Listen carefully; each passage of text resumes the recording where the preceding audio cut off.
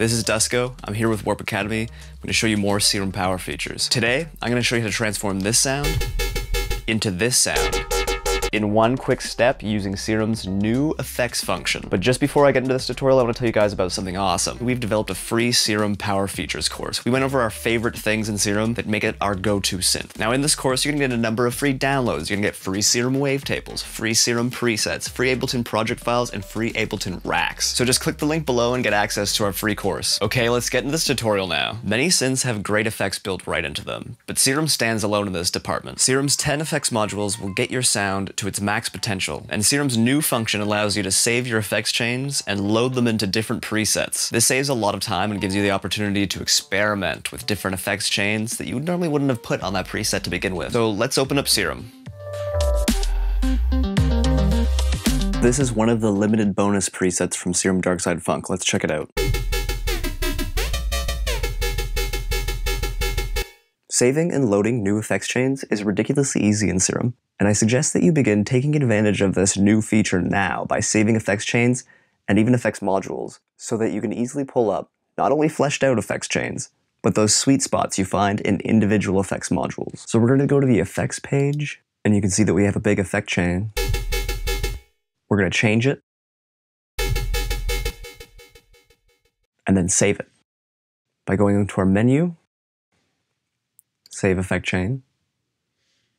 I made a chains folder, and we'll save it as Darkside Funk, chain 7. When Serum updated to include this feature, and I began to test it out, I was really excited to see that the modulation actually carries over to the new effect chain. And it doesn't matter if your effects are in a different order on your effects rack, the source modulation will actually carry over to the destinations in your effects module parameters. So we're going to take a look at what LFO1 is doing. We're going to load a new effect chain.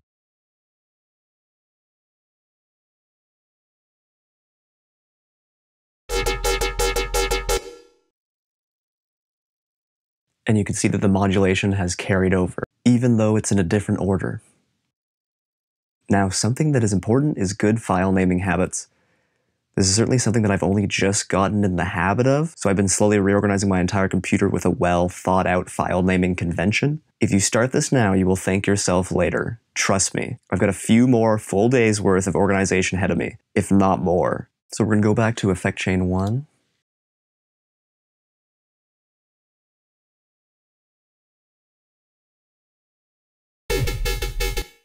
And we're to save it in a more organized fashion.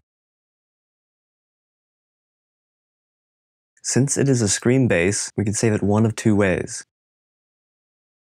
The first way, screen, chain, 1. Or if you prefer, bass, screen, chain, 1. Let's save it as that.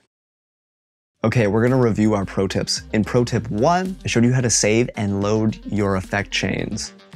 I showed you that you can create your own folders like I did with the chains folder, and there's folders for individual effects modules already. In Pro Tip 2, I showed you that modulation carries over to newly loaded effects parameters.